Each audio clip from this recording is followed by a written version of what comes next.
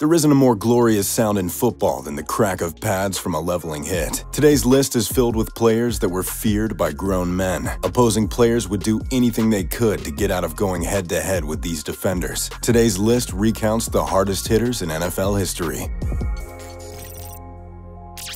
Sean Taylor the University of Miami is famous for being a professional football factory, regularly producing collegiate athletes that excel in the NFL. None fit that bill more than Sean Taylor. Taylor was a freak of nature. At 6'2", he was huge, but could cover receivers stride for stride, and flew down into the box to stop runners in their tracks. He built up speed quickly, turning himself into a torpedo that struck unlucky runners. Sean Taylor is most known for his hit in the 2007 Pro Bowl. The Pro Bowl is a glorified dog and pony show. Players just have fun and make sure they don't get injured. But not Sean Taylor. The AFC ran a fake punt with punter Brian Moorman, and it looked like Moorman had the first down with ease. Then a blur of burgundy swooshed through, decleating Moorman and dislodging the ball. Sean Taylor's hit could be heard outside the stadium. However, later on, tragically, Sean Taylor was slain in his home during a burglary. But in just four seasons, Taylor left an unforgettable mark on the league, and definitely left a few marks on his opponents as well well. Night Train Lane.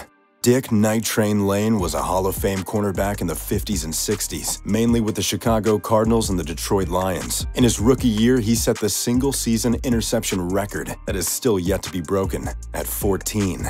But what he was best known for was being an absolutely ruthless tackler. The rules in place to make tackling safer didn't exist in 1955. Lane was infamous for tossing runners down by their helmet, looking more like hip tosses and clotheslines rather than tackles. Grabbing face masks became a penalty in 1962, almost exclusively because Night Train yanked people by them so often. Lane was one of the faster players of the decade, and he would dart to the runner and run through them without losing speed. His hard hits were particularly impressive because he wasn't much smaller than any of the guys whose clock he was cleaning. Dick Night Train Lane was more than just a cool nickname and coverage corner. He was one of the hardest hitters in NFL history. John Lynch John Lynch was a criminally underrated safety for the Tampa Bay Buccaneers and Denver Broncos. From his strong safety position, he recorded over a thousand tackles, 16 forced fumbles, and 26 interceptions. Lynch is the most versatile hitter on this list. He could square up and level guys, but could also attack from any angle and upend runners. Lynch was never caught out of position and brought intensity with every blow. When asked, Lynch described himself as a warrior, and that being a warrior was his favorite part of football. Getting a perfect hit was a rush for Lynch, saying it felt as pure as hitting a home run. Lynch was more than just a big hitter, though. He was a smart player as well, hitting runners with such precision that he turned should-be car wrecks into surgical knockouts. Lynch won a Super Bowl as part of one of the greatest defenses ever assembled in Tampa Bay. Now, Lynch is a hard-hitting executive for the 49ers, where you can watch and appreciate another great defense week in and week out. Ronnie Lott Ronnie Lott is one of the best players on this list, an all-time great defender for the dominant 80s and 90s 49ers. While he could cover any receiver in the league, he was best known for his hard hits and ball-hawking ability. Lott is the first player to ever record a thousand tackles and 60-plus interceptions. Lott used his big hits to fire up teammates and change the complexion of the game. In Super Bowl 23, Lott's thump of Bengals running back Ickey Woods fired up the Niners, where they shut down the Bengals offense for one of their four Super Bowl championships. Rarely were corners feared tacklers, or even good tacklers at that, but Lott was the most feared player on every field he stepped on.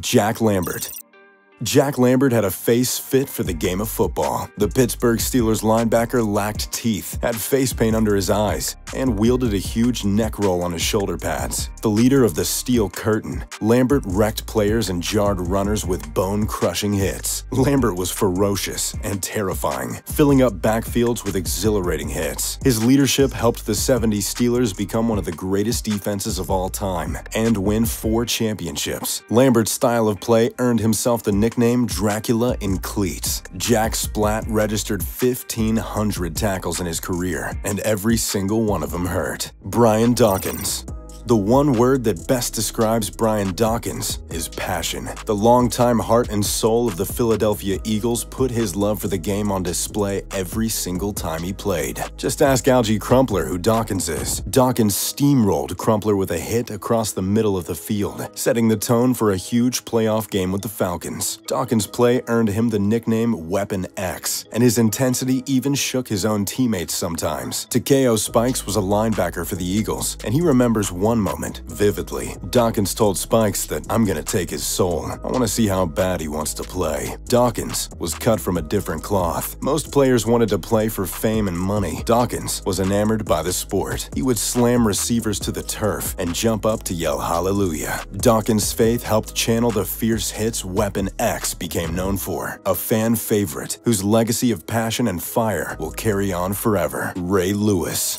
Another larger-than-life persona hits his way onto this list. Ray Lewis was the coolest defensive player ever, donning raven purple and black with a nightshade visor and looking more like the Hulk than a football player. Every kid in America wanted to be Ray Lewis. All Lewis ever did was overachieve, dominating the college ranks with the U and winning two Super Bowls with the Ravens over his illustrious career. His chest is never gonna feel the same, Ray Ray said in a post-game interview after his heart-stopping blast on Braylon Edwards. Ray Lewis is one of the smallest guys on this list, but is undoubtedly the biggest leader. He rallied an entire city with his energetic speeches. Fourth and two, with the game on the line, Ray Lewis is gonna slam your runner in the backfield to win. He proved that against the Chargers in 2009, planting Darren Sproles with a perfectly timed hit. Chad Johnson attempted to block Lewis in a game, and he landed flat on his back, while Lewis was unfazed by the contact. A teammate picked up Johnson as he muttered, I accidentally hit Ray. Ray Lewis was a throwback hitter in the modern game, and between his uncanny leadership and crushing blows, he became the best middle linebacker in NFL history. Jack Tatum.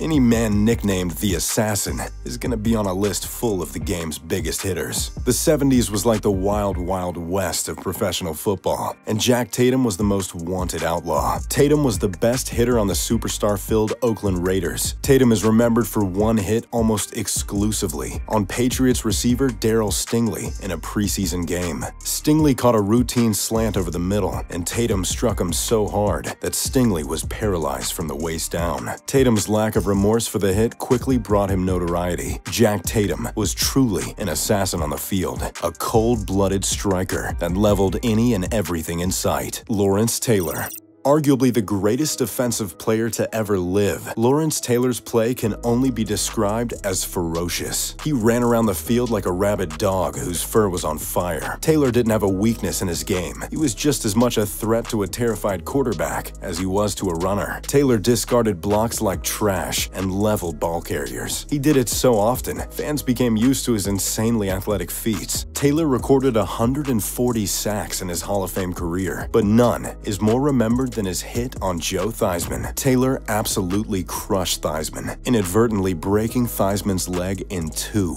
with the bone protruding outwards. Taylor's freak of nature ability caused a freak accident, ending the Washington quarterback's career in a one in a million blow. Taylor immediately felt remorse for the hit, but countless others fell victim to Taylor's raw power. Taylor loved to level opponents, and was quoted saying that everybody must pay a price. Taylor said that he had an alter ego named LT that would dominate opponents every Sunday. He brought a power and intensity that the NFL just hasn't seen since. Dick Butkus because there's no one more football than Dick Butkus, it's only fitting that Butkus is also the greatest hitter in NFL history. Butkus was a legendary linebacker for the Bears and the most intimidating player in history. Sports Illustrated named him the most feared man in the game, and he lived up to that name every down. Fellow teammate Deacon Jones said that every time Butkus hit you, he wasn't trying to put you in the hospital, he was trying to put you in the cemetery. He knocked opponents out, dislodging the ball in the process. When Butkus retired, he was the all-time fumbles forced leader and had more fumble recoveries than anybody else, with 27. When asked to describe himself, Butkus said that he would never try to deliberately hurt someone, unless it was important, like a league game or something. Butkus was a massive player for the time frame, and still possessed the speed to pack a knockout punch to opponents. Dick Butkus's name is synonymous with vicious tackling and football, making him our number one hardest hitter in NFL history. So,